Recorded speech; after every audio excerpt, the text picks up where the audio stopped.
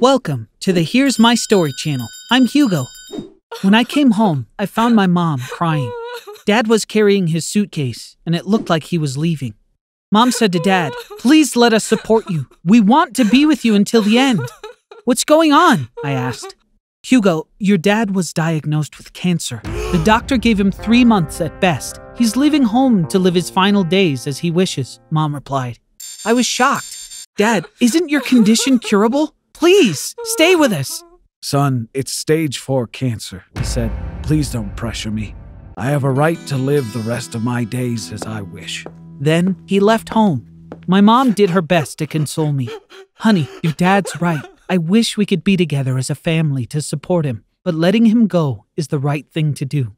We hugged each other and cried through the night. With my dad gone, we began having financial difficulties. My mom started cleaning people's houses. She wasn't making much, but thankfully we owned our house and didn't have to worry about rent. That's the only reason we were able to get by. My mom and I kept our phones close for the next three months, expecting a call from the hospital. We agonized over the possibility of getting messages like, We lost your father, or a text from dad saying, I've been hospitalized. Another month went by. We still hadn't heard any bad news about my dad. We were relieved knowing he was still alive. But one morning, something happened. Something we never expected. The doorbell rang. I heard mom say, Are you sure? But that's not possible. I ran to the door.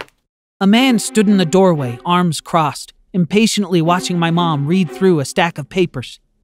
As you can see, everything is bought and paid for. Your husband signed off on it. I'm the new owner of this place. You have 10 days to vacate the premises. If you aren't out by then, I'll be forced to get the authorities involved. And I don't want to have to call the police. How could that be? We'd been worried sick about my dad, and he'd sold off the family house behind our backs? Mom, can't you do anything? I asked. No, sweetie, she replied in shock. The house is in your dad's name. Ten days later, they kicked us to the curb. We immediately looked to the local homeless shelters for help. We went to the biggest shelter in the city, but they had no beds available. We're desperate, Mom told the manager. I'm begging you, please help us. The shelter can only hold so many people. Ask again next month, she said dismissively. A man who had been listening to our conversation walked up to us. Hi, the name's Richard. I run the soup kitchen inside the shelter. We could always use more volunteers. If you want to work with us, you can stay in the soup kitchen dorm. We gladly accepted. My mom was on cooking duty, and I got to work peeling potatoes and onions all day. It was exhausting work, but at least we had food and a place to stay. The dorm was right behind the kitchen. Bunk beds for the other volunteers were set up on each wall. A sickly man was confined to a single bed in the corner. He never spoke, but I could occasionally hear him cry some nights. Richard would check on him, but the man seemed to get angry whenever he saw Richard. One day, Richard took me aside. Hugo, you're a hard worker. You do a lot of work for us at the soup kitchen, but you've got to get back in school. I'm relieving you from your daily duty. I couldn't believe it. I missed seeing my friends, but the school was on the other side of town. Plus, I needed money for the subway. I thanked Richard for covering for me and went to the station to panhandle for fare. I woke up early the following day to make sure I could scrape together the sub money in time. When I got enough, I bought myself a ticket and went to school. I kept begging at the station every weekday. One morning, a lady said to me, Hugo, hi! I'm your father's old assistant, Mrs. Clements. Do you remember me?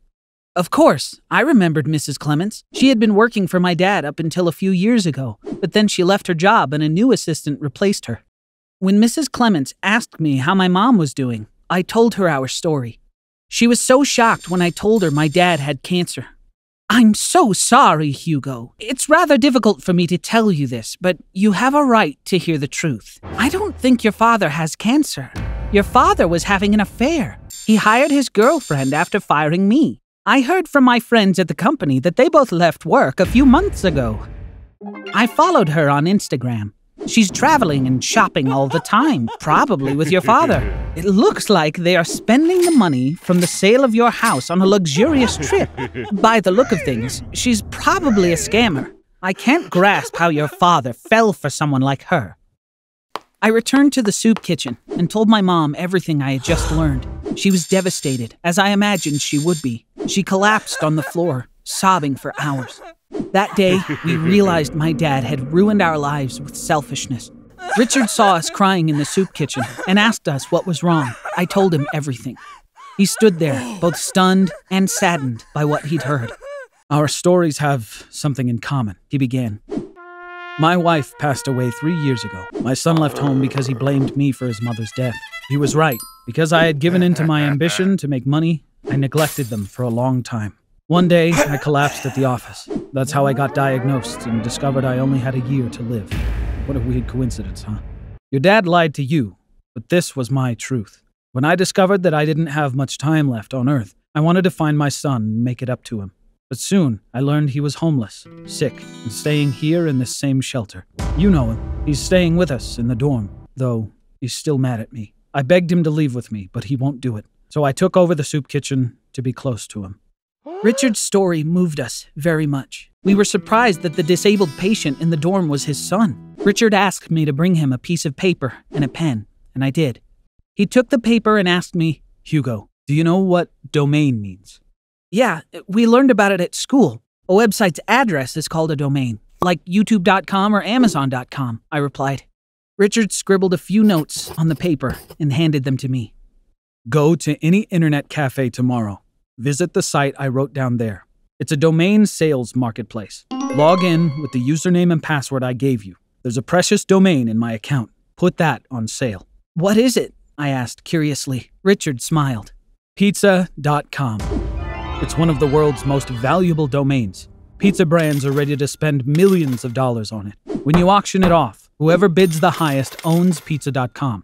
I haven't got much life left in me. I donated all my money to the shelter. This domain is the only thing that I have left. You and your mom can start a new life with the money from its sale. In return, I only ask one thing. Please take my son with you. Make room for him in your house. Accept him into your family and give him the peace he's yearned for his whole life. Will you do this for me? Of course we will. But don't you also want to live with us? My mom asked. If I come with you, my son wouldn't leave, replied Richard. I love serving these people here anyway. I want to spend my final days helping them. I put pizza.com on sale, just like Richard asked. Pizza brands fought tooth and nail at the auction to outbid each other. The winning bidder bought Pizza.com for $5 million. Thanks to Richard, I'm a millionaire now. We bought a big house. Richard's son accepted our offer and came to live with us. We gave him the best room in the house. He was incredibly moved when he found out what his father had done. He called him and offered forgiveness. Richard, of course, couldn't have been happier, but he still didn't move in with us. He preferred working at the soup kitchen. One day, one of the maids came to my room and said, Your mother is waiting for you at the door. You have a guest. I wondered who it could be.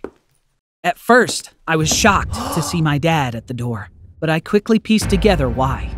Your dad says he's very sorry and wants us to forgive him, Mom said with a curt laugh. What do you think? Of course, she was being sarcastic. Shall we forgive him? Son, your mother doesn't believe me, but I miss you. I regret what I've done. I made a huge mistake. That horrible woman was a thief. One morning I woke up and she was gone. She took all the money and ran, he said. My mom's satisfied smile faded into a cold stare. So you were broke and decided to show up here? My dad couldn't respond. He just stared at the floor in shame. How did you find us? I asked. You're still using the same phone. It used to be mine, after all. It's saved in the Find My Phone app. When the app led me here, I was sure it was the wrong address. I thought you might be working here or something. Dad trailed off momentarily, realizing the disrespect in his tone. I, I can't express how proud I was to find you own this mansion. He stammered in desperation. I'm sure you have a place for me in this huge house. Please, I want to come home and make things right. Please forgive me. I took a good look at my dad. He looked miserable. It made no sense to talk to him any longer. I held my mom's arm gently and pulled her aside. Oh. Then, without saying a word, I slammed the door in his oh. face. He began screaming wildly and pounding the door. Security personnel stepped in and kicked him off the property. We could hear him crying outside. I'm sorry. I'm so sorry. But he'd already burned that bridge. Meanwhile, I was watching the whole thing live on the security cameras. I must admit, seeing my dad on that day for the last time couldn't have been more satisfying.